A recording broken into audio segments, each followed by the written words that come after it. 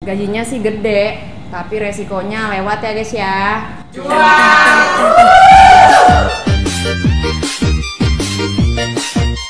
Boro-boro healing, gue suruh rebahan seribu hari. Cuan.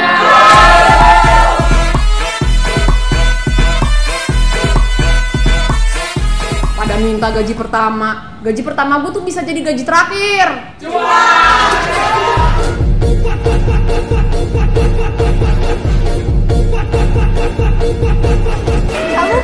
rebahan, sini.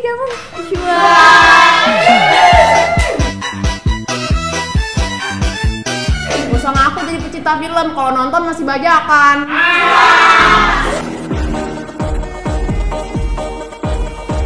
Katanya suka karya Timo Stambol, kok belum nonton Seudino? Cuan.